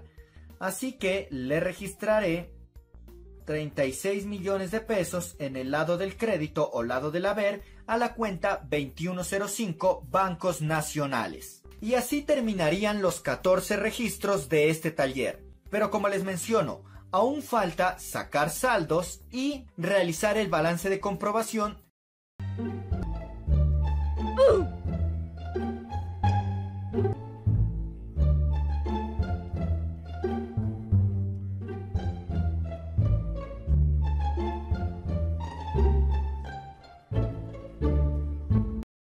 Pero antes de entrar con el ejemplo, recordemos que un balance de comprobación es un instrumento financiero que se utiliza para visualizar la lista del total de los débitos y de los créditos de las cuentas, junto al saldo de cada una de ellas, ya sea deudor o acreedor. Al final, si todo está bien, dará igual al sumar todos los valores de la columna del debe y todos los valores de la columna del haber es decir, igualdad entre débitos y créditos. Bueno, todo esto se entenderá mejor cuando pasemos al ejercicio. Así que comencemos con el enunciado, el cual nos dice, realice el balance de comprobación de la empresa Comercial Andina de Cali, NIT 89 947 000 en base a los registros contables presentados. Bueno, aquí aprenderemos a hacer el balance de comprobación en un formato a mano, pero si quieres aprender a hacerlo en Excel e incluso descargar una plantilla en Excel completamente gratis, te sugiero el video de la tarjeta que estoy señalando. Ahora comencemos. El primer paso para hacer el balance de comprobación es determinar el saldo de cada una de las cuentas a las que ya les damos cierre, es decir, que por el periodo ya no vamos a trabajar más con ellas. Así que damos cierre, calculamos su saldo y con esos valores proseguimos a diligenciar nuestro balance de comprobación. Entonces, ¿cómo determinamos los saldos? Fácil, sumamos todos los débitos y todos los créditos en cada una de las cuentas. Al mayor le restamos el menor. Y en el lado en el que está el mayor escribimos el resultado. Por ejemplo, en esta primera cuenta, 3115, aportes sociales, solo tenemos 100 millones de pesos en el lado del haber. O sea que sería como restar 100 millones menos 0. Obviamente nos va a dar 100 millones. Así que escribimos 100 millones en el haber. Ese es el saldo de esta cuenta. Bueno, prosiguiendo con el esquema de la cuenta T, el lado izquierdo es el del debe y el lado derecho el del haber o crédito. Entonces, vamos a calcular en cada una y en algunas nos va a dar saldo débito y en otras saldo crédito. Eso depende de la naturaleza de las cuentas, que se entiende mejor con su manejo básico. Para este ejercicio eso no nos va a servir pues de mucho, porque podemos calcularlos. Ahora vamos con el saldo de la cuenta 1105 caja, que bajo normas internacionales, si mal no recuerdo, su nombre es efectivo y equivalentes al efectivo. Bueno, en esta ya que hay varios valores, vamos a calcular primero un total en cada una de las columnas y después el saldo con la resta final. Entonces, 100 millones más 4 millones 800 son 104 millones 800 mil pesos. Y de este lado simplemente quedan los 100 millones de pesos porque no hay con qué más sumarlos. Ahora determinaremos su saldo. 104 millones 800 mil pesos menos 100 millones es 4 millones 800 mil pesos. Bueno, aquí por cuestiones de espacio voy a escribirlo directamente. 130 millones de pesos menos, bueno, al sumar todos estos, yo que ya lo había hecho previamente, sé que nos da 54 millones 500 mil pesos. Entonces 130 millones menos 54 millones 500 mil me da 75 millones 500 mil pesos. De todos modos, los números aparecen aquí por si ustedes quieren comprobarlo. Pero yo ya lo hice y sé los resultados que van a dar. Ahora vamos con la cuenta 1435. Al sumar estos tres de este lado, nos va a dar 51 millones 500 mil pesos. Y al sumar estos dos nos va a dar 14 millones 700 mil pesos. El mayor está en el lado del debe, así que ya sabemos que nos va a dar saldo débito. 51 millones 500 mil menos 14 millones 700 mil nos da 36 millones 800 mil pesos. Ahora vamos a determinar el saldo de la cuenta 2205. Del lado del débito son 24 millones de pesos y del lado del crédito son 50 millones de pesos. Como podemos ver, 50 millones es mayor que 24 millones.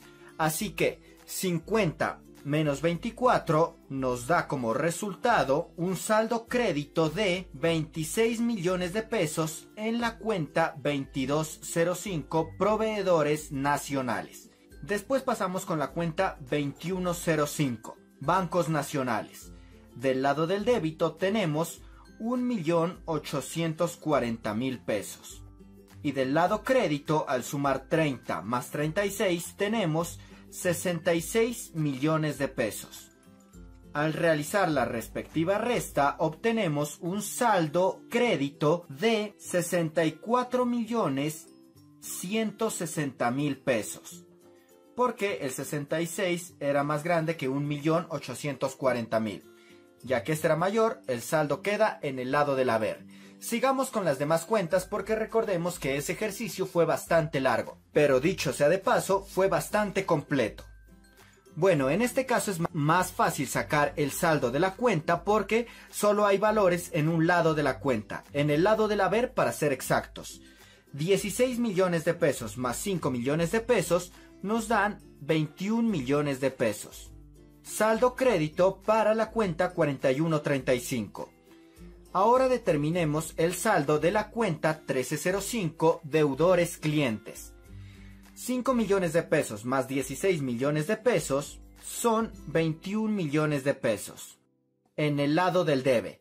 En el lado del haber son 4 millones 800 mil pesos. Ya que el 21 millones es mayor que el 4 millones 800 mil, el saldo será saldo débito, porque los 21 millones están en el lado del debe. Al realizar esta resta, 21 millones menos 4 millones 800 mil pesos, obtenemos 16 millones 200 mil pesos en el lado del debe o del débito en la cuenta 1305 deudores clientes. Y las últimas cuentas en este ejercicio resultaron bastante fácil porque solo tenían valores en uno de sus lados. 3 millones 500 mil más 11 millones 200 mil pesos son 14 millones 700 mil. Saldo debe en la cuenta 6135 o saldo débito en la cuenta 6135. En la cuenta 5305 gastos financieros su saldo es débito por 160 mil pesos. En la cuenta 5135 servicios también es saldo débito por 1.200.000 pesos. En la cuenta 5110 honorarios también es saldo débito por 1.800.000 pesos. Y finalmente en la cuenta 1540 flota y equipo de transporte es saldo debe o saldo débito por 60 millones de pesos. Y así de sencillo calculamos los saldos de cada una de las cuentas. Ahora podemos proseguir con el formato del balance de comprobación, que es el siguiente. En la parte superior tenemos el encabezado, el cual dependiendo la bibliografía que revises puede tener algunas pequeñas variaciones, pero en esencia todos nos dirán lo mismo. En esta parte que dice CIA, que básicamente quiere decir compañía, tendremos que escribir el nombre de la empresa de la cual estamos realizando el balance de comprobación. En este caso nos dijo que era la empresa Comercial Andina. Aunque era la empresa Comercial Andina de Cali, no hace falta que escribamos la ciudad en la cual se ubica esta empresa. Después tenemos el espacio para el NIT, que es el número con el cual se identifican las empresas básicamente como el número de identidad que solemos tener las personas mayores de edad. Pero este es para la empresa, que el enunciado nos dijo era 89 947 000. Después viene el título de este documento que es balance de comprobación. Y finalmente la fecha en la cual lo estamos elaborando. Que imaginemos que lo estamos elaborando en un día 7 de marzo del 2020. Y listo. Ahora la estructura es la siguiente. En la primera columna vendrá el código de las cuentas, en la segunda el nombre de las cuentas, en la tercera los valores del debe, que es donde registraremos cuando las cuentas hayan quedado con un saldo débito. Y la última columna es la columna del haber en donde registraremos los valores de las cuentas que hayan quedado en saldo haber o crédito. Ahora, ¿cómo organizamos las cuentas aquí? Aquí sí es sumamente importante que se organicen por el código del menor al mayor. Les voy a poner un ejemplo antes de proseguir a hacerlo. Como podemos ver, aquí su código es 3115 y aquí su código 1105. Si lo leyéramos como un número completo, esto sería 1105 y esto 3115. 1105 es menor que 3115, Así que esta vendrá antes que esta. 1110 es mayor que 1105, o sea que primero vendrá esta, después esta, pero 1110 es menor que 3115, o sea que esta vendrá antes que esta. Las organizamos de menor a mayor. Cuando hacemos este tipo de documentos a mano va a requerir mucha atención y el conocimiento de las cuentas. Yo obviamente lo voy a hacer más rápido agilizando el proceso porque ya conozco los códigos de las cuentas y demás. Además de que ya había preparado con antelación este ejercicio. Pero si no, tú vas a tener que revisar cuenta por cuenta e irlas organizando de menor a mayor. Si quieres también agilizarlo un poco más, puedes revisar el plan de cuentas. Ahí ya se encuentran organizadas de menor a mayor. Y finalmente la opción más fácil para realizar esto es hacerlo en Excel, como en el video que te mencioné ya realicé y se encuentra en el canal. Ahí Excel lo va a hacer automáticamente si sigues los pasos que yo enseño en ese tutorial. Pero bueno, ya que esto no es un archivo de Excel, las voy a ir organizando de menor a mayor.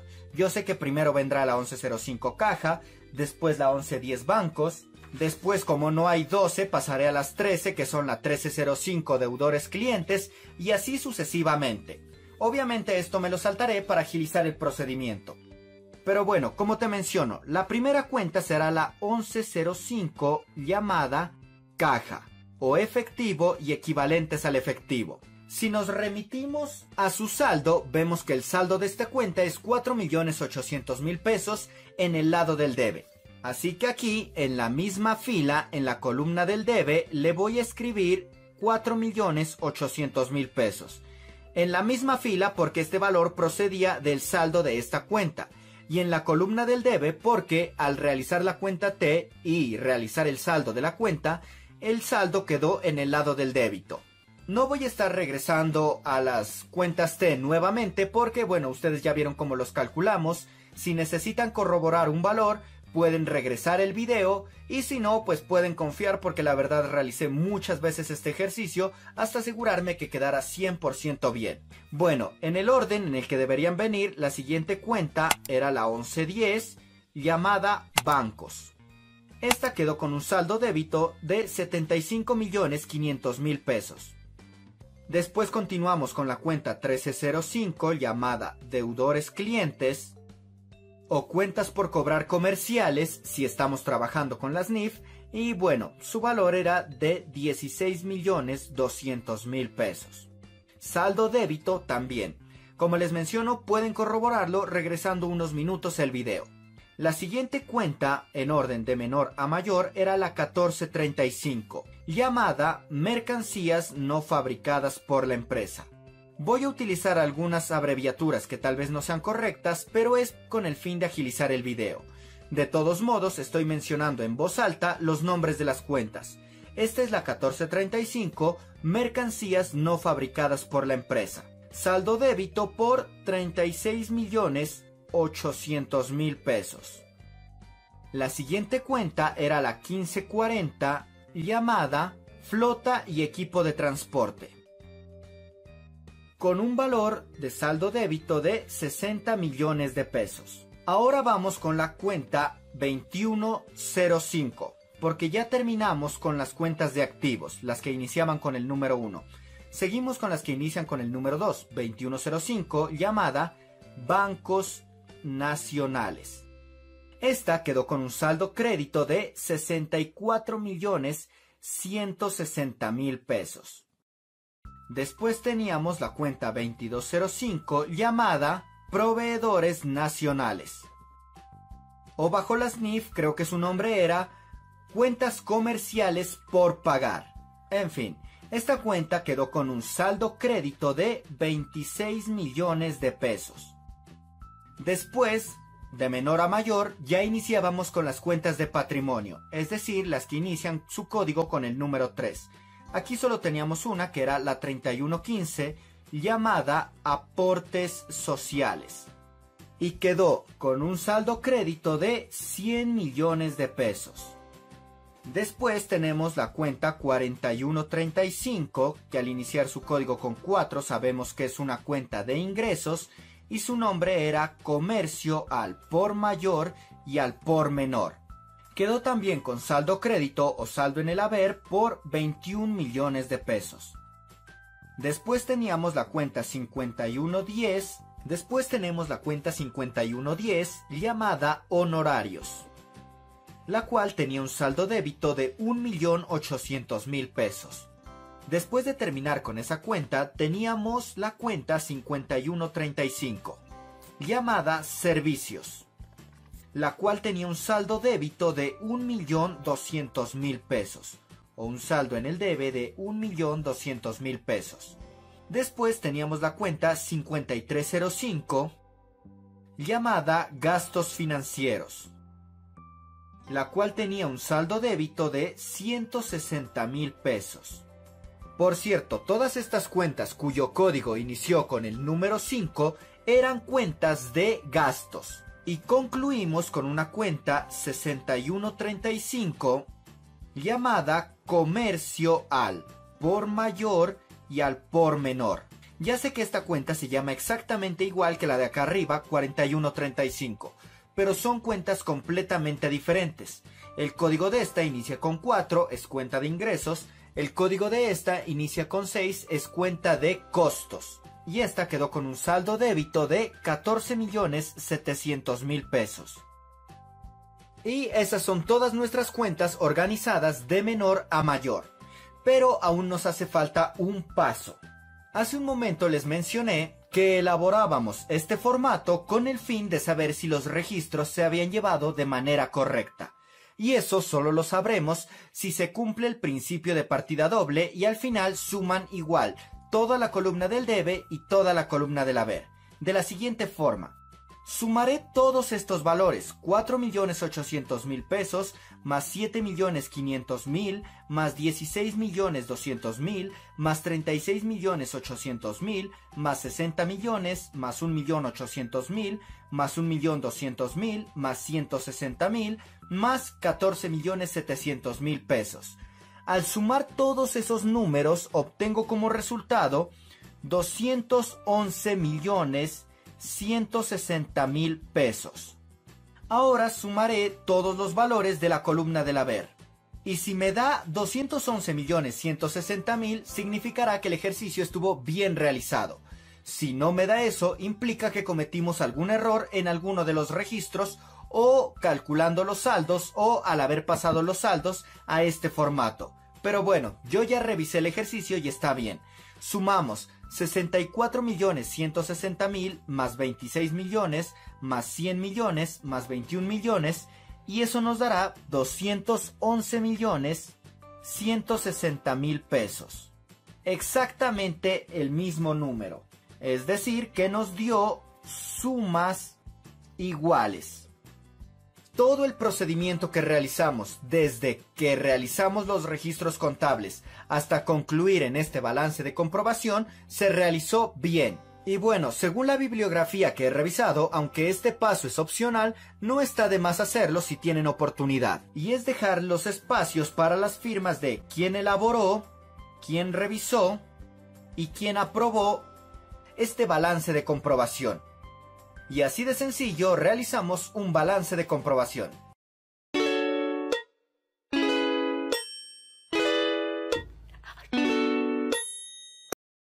El libro diario, también llamado libro de cuentas o diario general, es un documento contable o libro contable en el cual quedan registradas cronológicamente todas las transacciones efectuadas en un negocio, por cronológicamente nos referimos a que día a día y una vez ocurren las transacciones económicas, las apuntamos.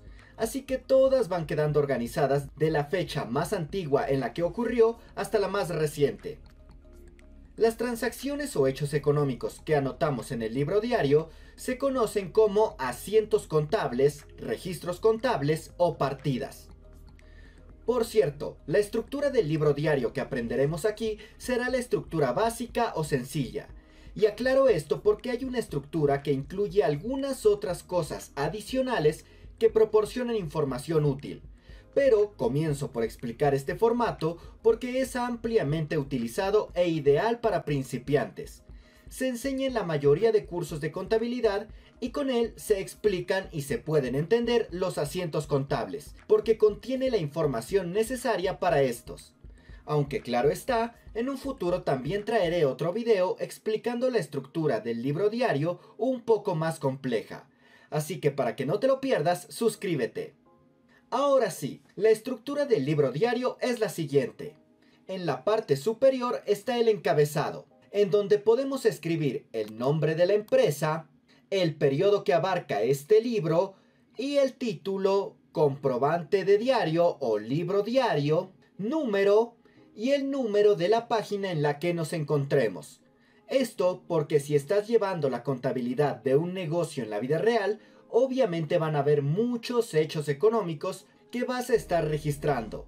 Si lo haces en uno físico, la hoja terminará y necesitarás una nueva página. O si lo estás haciendo en algún programa de hojas de cálculo como Excel, puede que realices hasta cierto número la cantidad de asientos contables y después pasar a otra hoja para que se vea de forma más organizada. Entonces, por esa razón, también suele incluir el número de la página. En fin, después del encabezado vamos a continuar con las columnas en las cuales llenaremos la información. La primera columna es la de las fechas. En ella se registra la fecha en la cual haya ocurrido la transacción que vamos a registrar. La segunda columna es la del código y la tercera columna es la de las cuentas. Recuerden que cada cuenta tiene un código que la identifica. He visto que en algunos formatos de libro diario no incluyen la columna de código o la combinan junto con la de cuenta y la envían como la columna de descripción. Así como se ve en este momento en pantalla. Descripción. Eso puede ser porque la normativa que emplean no utiliza códigos. A continuación tenemos la columna del debe o débitos y después la columna del haber o créditos. En estas se registrarán los valores de los asientos contables. La columna en la que se escribirá el valor dependerá de la cuenta que se esté manejando y de si su valor está aumentando o disminuyendo pero esto se entiende mucho mejor cuando se conoce la naturaleza de las cuentas, pero ahora vamos con un pequeño ejemplo para entender mucho mejor esto. El enunciado nos dice, el día 28 de noviembre de 2022, la empresa ABC obtiene un préstamo del Banco Industrial Colombiano por 8 millones de pesos. Recibe el dinero en su cuenta bancaria. Genial, ya tenemos todo para comenzar. Bueno, para el encabezado no nos dio mucha información, simplemente el nombre de la empresa, así que escribámoslo. Empresa ABC. Ahora vamos a realizar el asiento contable.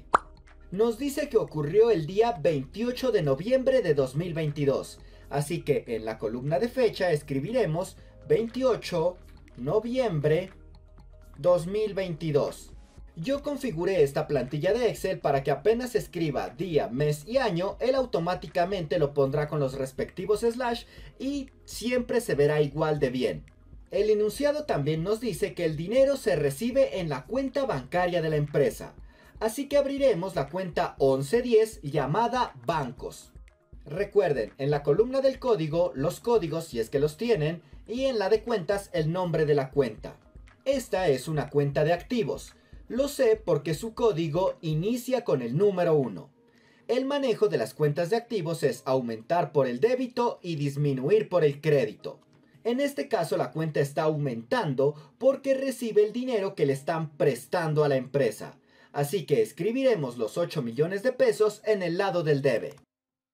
En esta columna también simplemente es necesario que ustedes escriban directamente los números porque yo configuré la plantilla para que se ponga de manera automática el símbolo de dinero. Pero bueno, ahora debemos justificar la razón por la cual se recibieron estos 8 millones de pesos. Ya sabemos que fue por un préstamo bancario, así que la siguiente cuenta que debemos abrir es la 2105 llamada Bancos Nacionales. Esta es una cuenta de pasivos, y lo sabemos porque su código inicia con el número 2. El manejo de las cuentas de pasivos es aumentar por el crédito y disminuir por el débito. En este caso está aumentando porque la empresa adquiere una deuda con el banco. Entonces registraré los 8 millones de pesos en el lado del haber en esta cuenta. Y así terminaría este asiento. Por cierto, si quieres tener facilidad para saber qué cuentas se utilizan y cuál es su manejo dependiendo del asiento contable, debes conocer las bases que ya te sugerí durante este video. Además de practicar revisando diferentes asientos contables. Bueno, algo que te sugiero es que si decides utilizar este formato para tus asientos contables, cada vez que realices un registro completo, es decir, que ya se hayan involucrado todas las cuentas que el asiento necesitaba, vayas hasta la parte inferior de la hoja de cálculo, en donde verás que en la última fila dice sumas iguales. Esas sumas iguales nos permiten comprobar que se cumple el principio de partida doble. Es decir, que si los registros se han estado realizando de forma correcta, las sumas tendrán que dar igual, tanto en la columna de débitos como en la columna de créditos. Si no dan igual, significa que hubieron errores en los asientos contables. Ahora sí, la última aclaración. Cuando estás aprendiendo registros en el libro diario o registros horizontales en el aula de clases o en tus cursos, es muy probable que se omita la columna de fecha. Es decir, para aprender los asientos contables en ejercicios académicos, normalmente se utilizan las columnas de códigos, cuentas, débitos y créditos. Por esa razón, así los encontrarás en muchos libros o guías de ejercicios. Y de hecho, también puedes encontrar muchos ejemplos así en mi canal.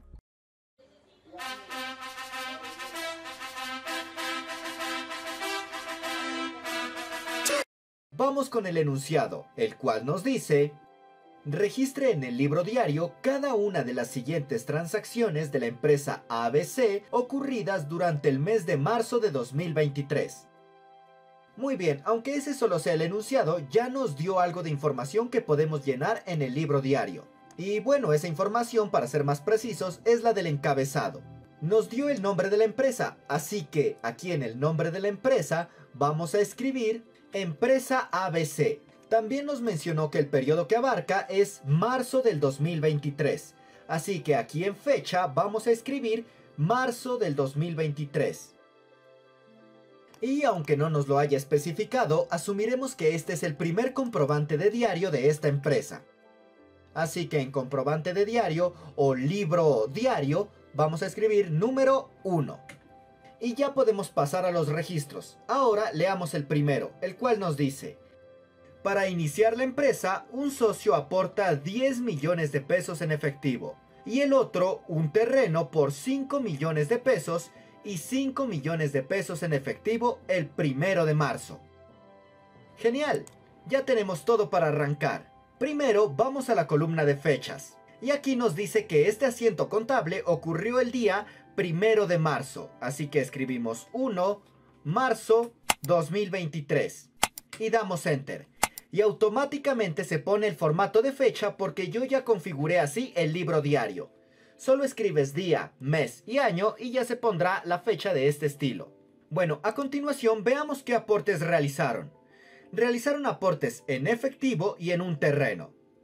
En efectivo, un socio aportó 10 millones de pesos y el otro 5 millones de pesos. Así que en total se aportaron 15 millones de pesos en efectivo.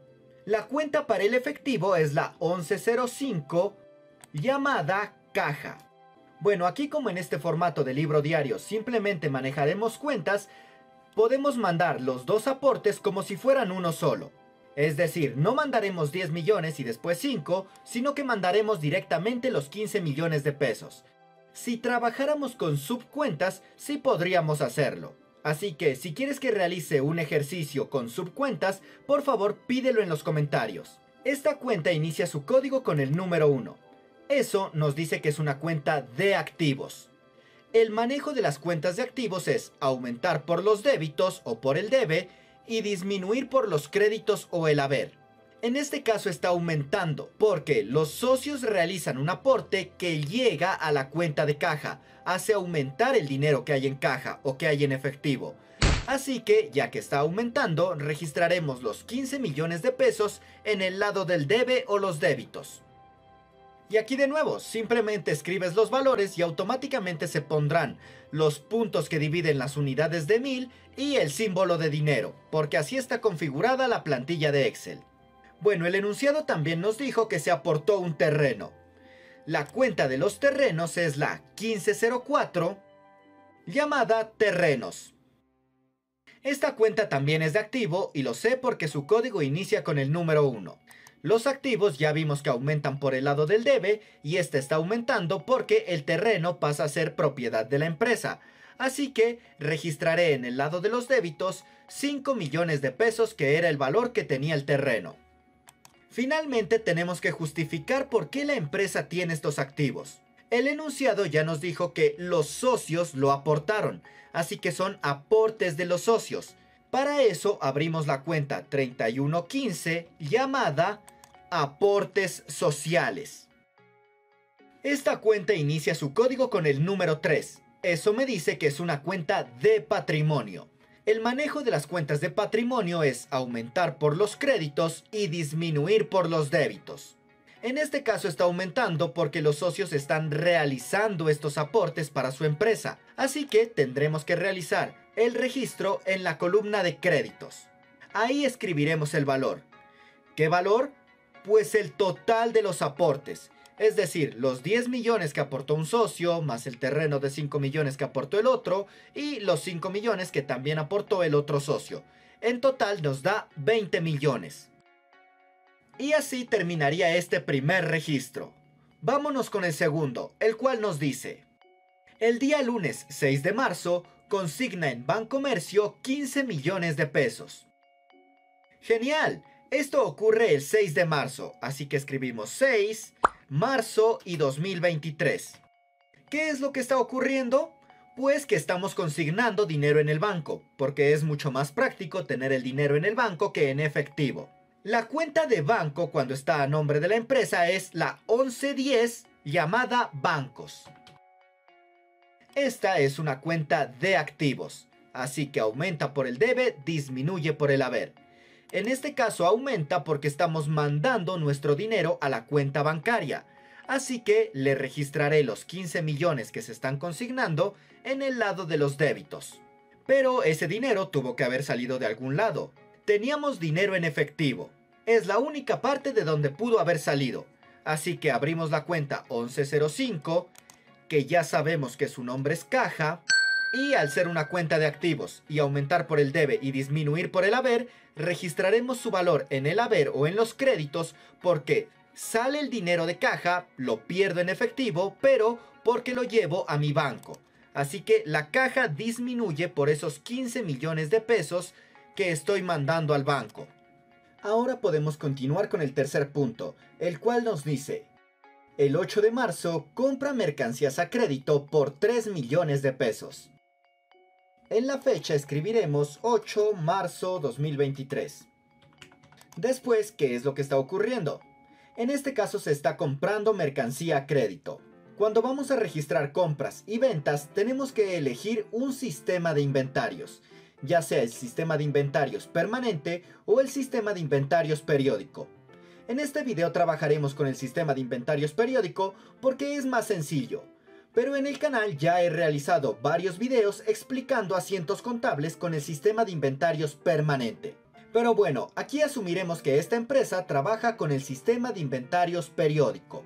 Y tomando en cuenta eso, la cuenta que abriremos será la 6205 llamada compra de mercancías. Esta cuenta inicia su código con el número 6. Eso nos dice que es una cuenta de costos. Las cuentas de costos tienen un manejo de aumentar por el debe o los débitos y disminuir por el haber o los créditos. Cuando se genera un costo, está aumentando. Cuando se anula el concepto de generarse un costo, está disminuyendo. En este caso se genera el costo porque estamos adquiriendo mercancía. Y registraremos en el lado del debe el valor de la mercancía comprada, que era 3 millones de pesos. Ahora tenemos que justificar cómo pagamos esa compra. O bueno, en este caso, ya que fue una compra a crédito, en realidad no pagamos. Nuestros proveedores nos dieron crédito por esa compra se puede decir que nos fiaron, nos dieron la mercancía y esperarán un tiempo para que les paguemos. Cuando tenemos una deuda con nuestros proveedores, la cuenta que abriremos será la 2205 llamada Proveedores Nacionales. Esta cuenta inicia su código con el número 2. Eso nos dice que es una cuenta de pasivos. Los pasivos aumentan por el haber o los créditos y disminuyen por el debe o los débitos. Es decir, que cuando se adquiere deuda registramos el valor en los créditos y cuando se pagan las deudas lo registramos en los débitos. En este caso se está generando deuda, porque nuestros proveedores nos están dando crédito. Así que registraré en el lado del haber los 3 millones que les debemos a los proveedores por la mercancía comprada. Y así termina este asiento. Vámonos con el cuarto punto, el cual nos dice, El 11 de marzo compra mercancías al contado por 2 millones de pesos. Paga con cheque de Bancomercio. Muy bien, en la fecha escribiremos 11 de marzo de 2023. Y ya que nuevamente estamos comprando mercancía, abrimos de nuevo la 6205. Llamada compra de mercancías. Ya sabemos el manejo de esta cuenta. Estamos adquiriendo la mercancía, así que registraremos su valor en los débitos. ¿Qué valor? Pues el de la mercancía comprada, que en esta ocasión es 2 millones de pesos. Lo que cambiará en este punto con respecto al anterior es el medio de pago que nos dice que es al contado, es decir, que estamos pagando toda esa compra y con cheque, así que estamos sacando dinero del banco para pagar. El dinero del banco ya sabemos que está en la cuenta 1110, llamada bancos. El código de esta cuenta inicia con 1, aumenta por el debe, disminuye por el haber, al ser cuenta de activos. En este caso disminuye porque estoy sacando dinero del banco para comprar la mercancía. ¿Y cuánto dinero está saliendo del banco? Pues 2 millones de pesos. Así que en la columna de créditos escribiré los 2 millones de pesos. Y listo, ya está el cuarto punto. Vámonos con el quinto punto, el cual nos dice, el 12 de marzo vende mercancías al contado por 9 millones de pesos. Muy bien, en fecha escribimos 12 de marzo del 2023. Y como el enunciado nos dice que vendimos al contado, significa que nos entregaron todo el dinero de una vez. No especifica si fue con una transferencia bancaria o en efectivo. Así que, como no especifica, asumiremos que fue en efectivo. Ya que estamos recibiendo el dinero en efectivo, abriremos la cuenta 1105, que ya sabemos que se llama caja, que su código inicia con 1 y que es una cuenta de activos que aumenta por el debe y disminuye por el haber. En este caso está aumentando porque recibimos el dinero al realizar esa venta. Así que en la columna de débitos vamos a registrar 9 millones de pesos en esta cuenta. Es la cantidad que estamos vendiendo. Ahora hay que justificar por qué recibimos esa cantidad. Ya sabemos que fue por una venta. Y cuando realizamos ventas de mercancías, la cuenta que abriremos será la 4135 llamada comercio al por mayor y al por menor. El código de esta cuenta inicia con 4. Eso nos dice que es una cuenta de ingresos. El manejo de las cuentas de ingresos es aumentar por los créditos o el haber y disminuir por los débitos o el debe. En este caso está aumentando porque se están generando ingresos, es decir, la empresa recibe ingresos. Así que registraremos su valor en la columna del haber o los créditos. ¿Qué valor? Pues los 9 millones de pesos de la venta. Y así se justifica el dinero que entró en la caja. Esta venta queda así de sencilla de nuevo porque estamos trabajando con el sistema de inventarios periódico. En el sistema de inventarios permanente aumenta unas cosas más, pero como les menciono, si les interesa saber más del tema, ahí tienen mis videos. Ahora vamos con el sexto y último punto de este ejercicio, que nos dice, el 14 de marzo compra a crédito un computador para uso de la empresa por 3.400.000 pesos. Muy bien, esto ocurre el día 14 de marzo. El computador no lo está comprando para venderlo, lo compra para que sea parte de los activos de la empresa. Así que abriremos la cuenta 1528 que se llama Equipos de Cómputo y Comunicación. Esta cuenta es una cuenta de activos. Ya sabemos que aumentará por el debe y disminuirá por el haber. En este caso está aumentando porque el computador pasa a ser propiedad de la empresa y el valor por el que aumentará será el valor del activo, en este caso 3.400.000 pesos. Ahora, nos dice que el computador lo compramos a crédito. Eso significa que tenemos una deuda con alguien. ¿Es una deuda con un banco? No. ¿Es una deuda con proveedores? No, porque el computador no es para venderlo, es para uso de la empresa, así que quien vendió el computador no se puede considerar un proveedor. Como no entra en ninguna de esas categorías, la cuenta que abriremos será la 2335 llamada costos y gastos por pagar. Esta por su código vemos que es una cuenta de pasivos o de deudas. Inicia con el número 2. Así que aumentará su valor por los créditos y disminuirá por los débitos. Aumenta cuando adquirimos deuda, como en este caso. Tenemos una deuda por el computador que adquirimos. Así que enviaré los 3.400.000 pesos que debemos en la columna del haber o de los créditos. Y listo, así terminaría este asiento contable. Algo muy importante si decides utilizar este archivo de Excel para realizar tus registros es que una vez que vayas terminando cada registro o cuando los termines todos, bajes hasta el final de la plantilla en donde tenemos la fila de sumas iguales. En esta fila tiene que haber dado igual la columna de los débitos como la columna de los créditos. Si no dan sumas iguales, significa que hubo algún error en los asientos contables. Y bueno, eso es todo por este video.